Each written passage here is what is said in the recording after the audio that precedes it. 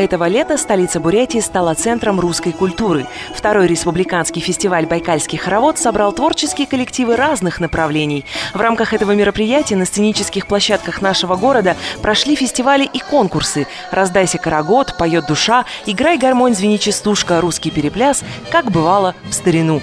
Международный фестиваль-конкурс фольклора старообрядческих художественных коллективов «Раздайся карагод» стал одной из визитных карточек Бурятии, проводником старообрядческой культуры в современный мир.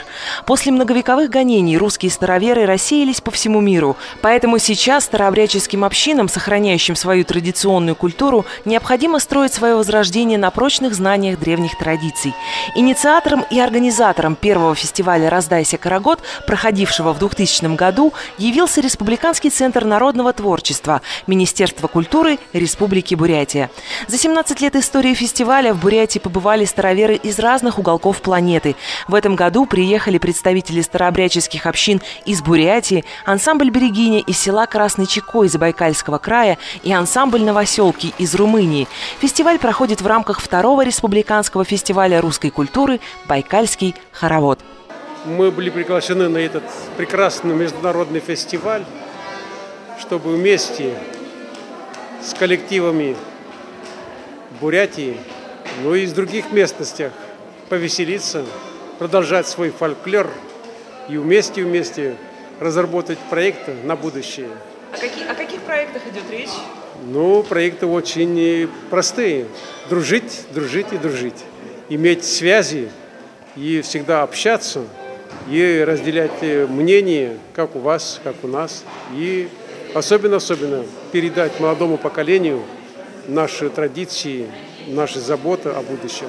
Наша организация была основана в 1990 году, и она представляет русский этнос на территории Румынии. Мы по Конституции Румынии имеем своего представителя в парламенте Румынии, который защищает наши интересы и, могу сказать, даже и имидж России. А, ну, это в основном староверы, старобрядцы, которые э, поселились еще 300 лет тому назад на территории Румынии. И вот мы сохраняем язык, культуру, традиции, обычаи, обряды, духовность, исповедуем древнеправославную старобрядческую веру. Наша цель направлена на сохранение языка, на продвижение русской культуры на территории Румынии. Мы прилетели 12 человек, а в коллективе участвует только 6. Сегодня мы э, исполним два номера. Это две наших, нашей песни э, «Русский хлепован» э, Румынии. И думаем, что мы порадуем всех. 3 июня прошел конкурсный отбор фестиваля. Представительницы Забайкальского края, участницы ансамбля «Берегиня», приехали на «Раздайся Карагод» во второй раз. Впервые они побывали на фестивале в 2015 году. У нас э, это даже не ансамбль, а клуб по интересам «Берегиня». И у нас 17 человек, участников клуба, и 7 артисты. Но мы будем исполнять две песни. Первая – семейская протяжная песня, как по быстрой реке называется. И вторая – плясовая, хороводная плясовая песня. Хотелось бы победить, но мы не знаем, какой силы будут другие коллективы, а вообще надеемся. Все участники мероприятия были облачены в традиционные народные костюмы. Буйство красок и разнообразие голосов накрывало волной, пробуждало генетическую память. Многие сами рвались в пляс, а временами так хотелось подхватить протяжную семейскую песню и окунуться с головой в богатую историю народа. Отборочный тур превратился в настоящий праздник. В конкурсе приняли участие около 30 фольклорных старообрядческих коллективов. Все они были отмечены памятными дипломами и подарками. На другой концертной площадке проходил танцевальный конкурс «Русский перепляс». Сценическая площадка городского дворца детского юношеского творчества собрала разновозрастные танцевальные коллективы из районов Бурятии и города Улан-Удэ. В прошлом году мы проводили первый э, фестиваль русской культуры «Байкальский хоровод». И вот в этом году решили провести его во второй раз. Но в рамках этого фестиваля решили расширить его и э, проводим первый республиканский конкурс народного танца э, «Русский перепляс». Сегодня приехало 17 коллективов. Я так думаю, что для первого раза это неплохо. Будем расширять его, будем э, что-то менять, что-то добавлять. И я так думаю, что он будет у нас традиционный. Народный танец тесно связан с историей русского народа, с традициями, верованиями и обычаями. Участники конкурса «Русский перепляс» показали всю многогранность танца и доказали, что являются хранителями традиций русского народа. Завтра будет вообще очень большой праздник. Насколько я знаю, тоже будет много гостей, и концерт большой. Поэтому мы очень рады, что мы в нем участвуем и постараемся выложиться на полную катушку. Ну, как обычно, раздолью! Ура! Ура! Ура! По старинной русской традиции любое дело принято начинать с молитвы. Второй день фестиваля «Байкальский хоровод» начался с праздничного богослужения в храме этнографического музея. Службы в этом храме проводят крайне редко, поскольку он является исторической ценностью и расположен в музейном комплексе на Верхней Березовке. В воскресенье Святой Троицы все желающие смогли посетить службу, помолиться и поставить свечу в этом храме. Фестиваль – это не только большой праздник, это еще и площадка для повышения квалификации руководителей коллективов участников. В рамках фестиваля в Доме Танских прошел круглый стол, на котором поднимались вопросы сохранения самобытности традиционного костюма, народного танца, народного пения и народных инструментов. В нем приняли участие члены жюри, руководители творческих коллективов и ученые-этнографы. Знаете, что бы я порекомендовала? В первую очередь, знаете, больше читать больше читать о семейской певческой культуре. Потому что если мы выносим на сцену старобряческую песню, то она вы, должна выглядеть как старобряческая. Вот вы согласны? Потому что не все старобряческие песни выглядят как старобряческие. Некоторые они выглядят как общерусские. Но, знаете, э, не, не, коллективы не виноваты, потому что сейчас э, очень много технических средств, записей и так далее. Поэтому вы слизываете, извините за такое выражение, с дисков, с кассет, э, с, с телеэкранов и так далее. Самое главное, на что я хочу обратить, это побольше читать и находиться в той среде, именно в той. Вот есть такой метод погружения. Те, которые занимаются исследованием, они понимают, что есть такой метод погружения, и именно погрузиться. Если бы я в Сибири не жила, какое-то время, я бы никогда этого не смогла сделать, потому что я знаю по нашим ученым, по профессорам, они не могут справиться с семейской певческой традицией. Погружаться и больше слушать. Не зря нам Бог дал два уха и один ротик, правда? Поэтому чем больше мы будем слушать, тем лучше у нас будет получаться семейская певческая э, культура. Я вчера очень много выступлений увидела у ребят, у детей. Вчера выступали детские коллективы. Очень много положений – почему-то женских появляется в мужском танце. И э, не увидела, честно говоря, глубины исполнения движений. Вот конкретики в русском танце это, это движение, это э, дробные ходы и проходки, это э, мало используется трюковой техники, как для мальчиков, так и э, для девочек. И самое главное, вот э, из большого опыта работы хочу сказать, что мы пытаемся действительно вот к этой новизне сегодня обратить свое внимание, потому что и требования жюри и так далее, э, чтобы это было ну, красочно и красиво, но при этом мы забываем, что мы должны нести традицию русской народной хореографии. А традиция – это фольклор. И обращаться к фольклорным композициям просто необходимо – из опыта работы хочу сказать, что с фольклором дружу очень давно, использую материал, использую манеру исполнения, очень много общаюсь со старожилами, имею такую возможность. И э, успех постановочной работы и освоение русской народной хореографии, конечно, зависит от того, насколько мы глубоко изучаем русский народный танец. Сейчас идет круглый стол по проблемам сохранения традиционной культуры, народной и традиционной культуры в основном. И это очень важный круглый стол, потому что сейчас сидят и студенты, и участники этого фестиваля. Они слушают специалистов, которые много лет уже занимаются изучением, сохранением этих традиций и передачей их. И вот поэтому сегодня выступала женщина из Москвы, я из Новосибирского академгородка приехала. Сейчас только что был э, доклад по э, хореографии современной, традиционной. Поэтому я считаю, что это очень важный семинар. Я сегодня говорила о том, Не нужно ничего лишнего на себя надевать. Не нужно украшать песни, они и так настолько глубокие, что их сегодня специалист из Москвы говорила, мои студенты не могут освоить эту, а как говорит, эту, эту манеру пения. Потому что, чтобы спеть традиционную песню, надо здесь пожить, коров подоить, сено накосить. Вот тогда ты будешь уже знать нашу культуру изнутри, а вечером, говорит, сесть и попеть. И то, что сейчас делает молодежь, это тоже очень важно. И то, что Министерство культуры Бурятии тоже на это обращает очень большое внимание. И Дом народного, народного творчества на это обращает внимание. Это очень важно. Я хотела бы пожелать и фестивалю «Раздайся, Карагод», и тем людям, которые занимаются вот изучением и сохранением традиций, больших успехов. И чтобы у нас традиция не прервалась на нашем поколении. Я этого очень хочу, чтобы она перешла на следующее поколение. После богослужения круглого стола на центральной площадке этнографического музея состоялось открытие фестиваля. Красочный пролог с участием русских красавиц погрузил присутствующих в атмосферу народных сказок.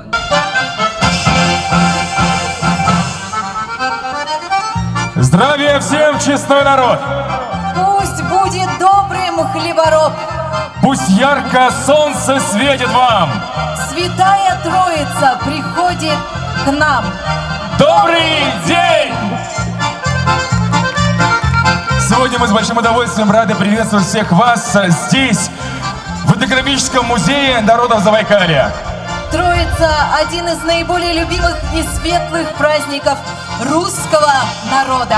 Троица – 20-й праздник православного календаря, отмечаемый на 50-й день после Пасхи, на 10-й день Вознесения. И сегодня, в день празднования Святой Троицы, мы приветствуем всех на втором республиканском творческом фестивале русской культуры «Байкальский хоровод». Хоровод – это увлекательнейшее мероприятие для всех жителей и гостей нашей столицы всех возрастов.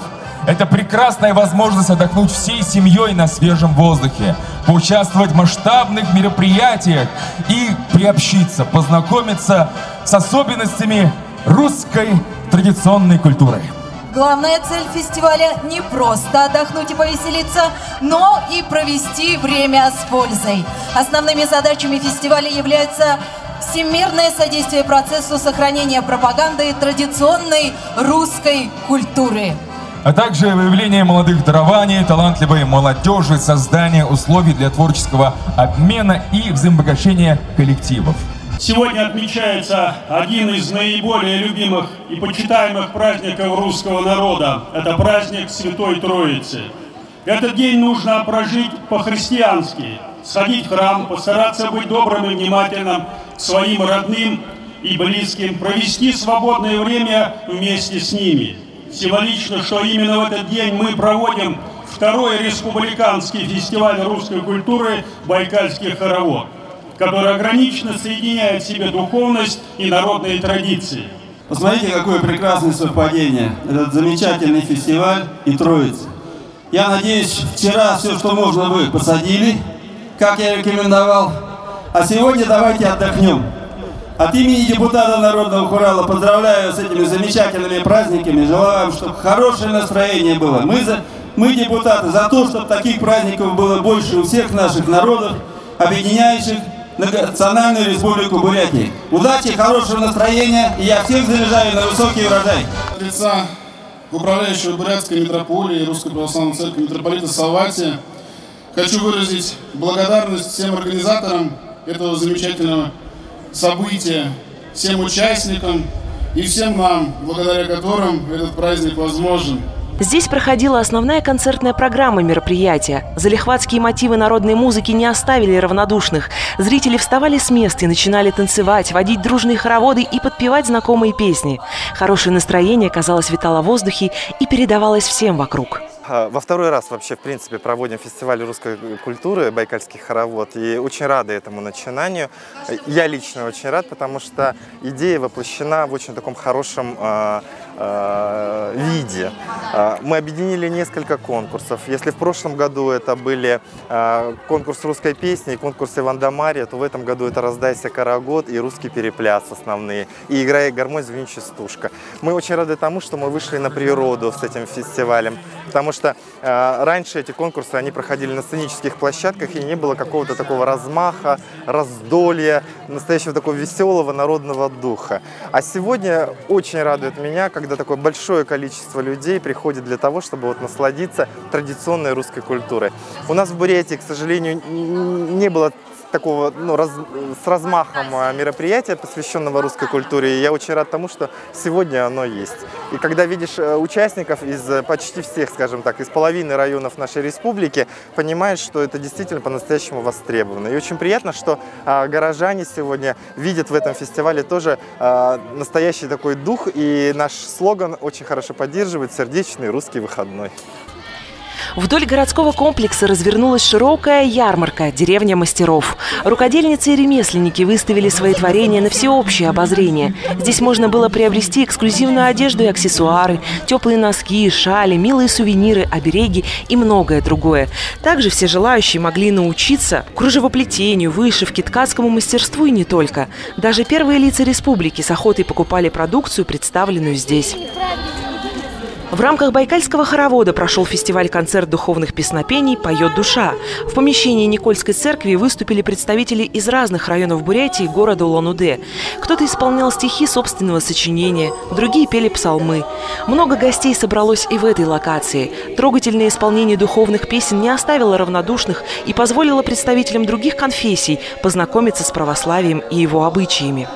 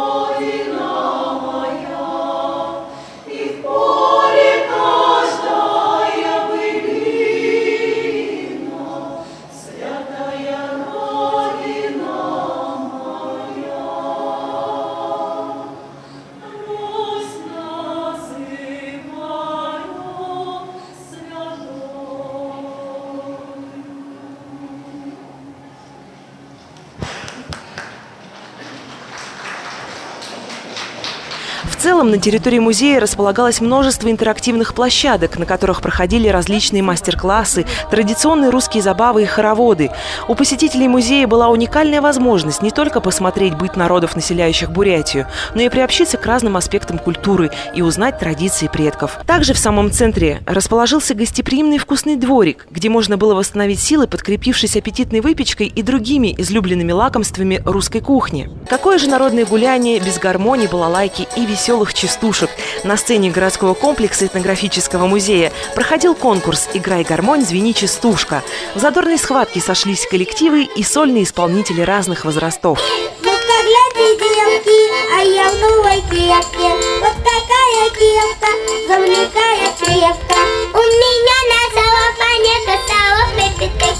Я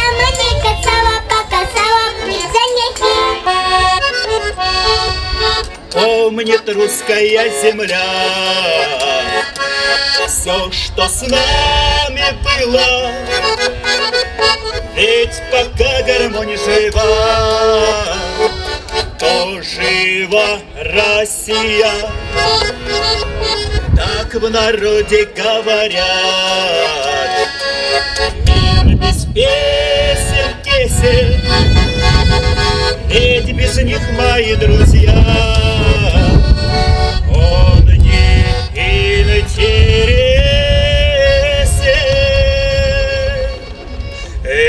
Гармошечка моя, кнопочки золотые, Словно русская душа, словно вся Россия.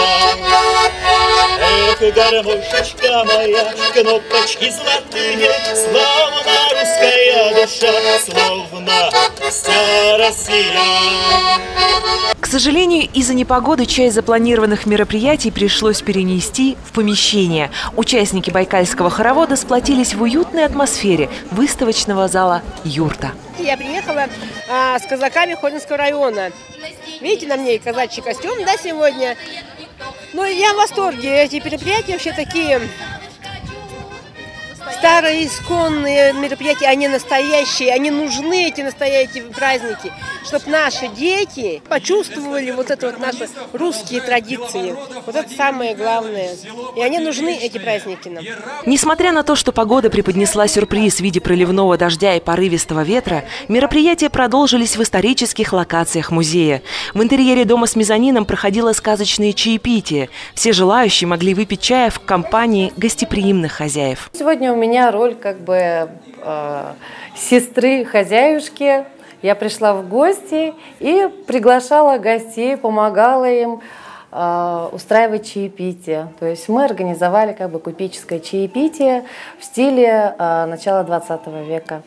Вот, как раньше э, купцы, вот третьей гильдии принимали гостей, рассказывали о чаях, э, откуда чай пошел, поиграли в игры, так скажем, застольные игры. Сегодня у нас э, просто был эксклюзивный такой момент, когда у нас посетители могли вот, действительно посидеть в интерьере как раз вот с начала 20 века и, попить чай, то есть почувствовать себя частью этого дома.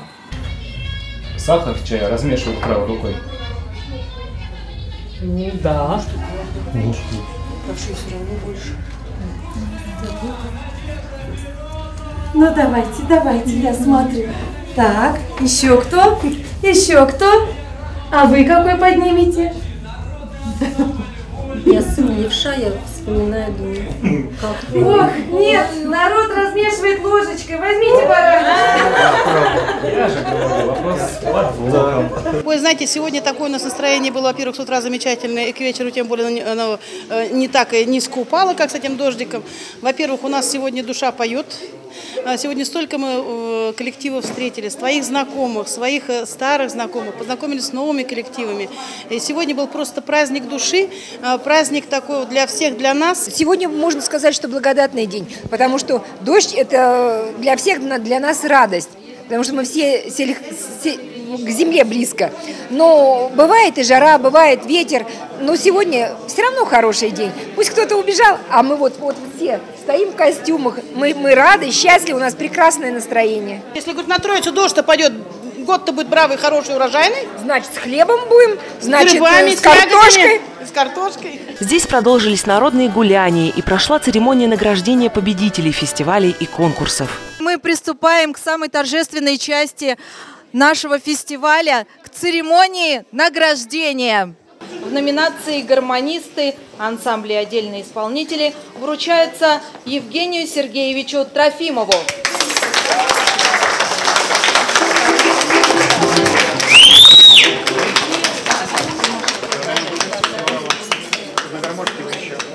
Диплом второй степени и денежный приз вручается в номинации коллективы от 7 до 17 лет образцовому детскому фольклорному ансамблю «Родничок», село Большой Куналей, Тарбогатайский район, руководитель Надежда Кушнарева.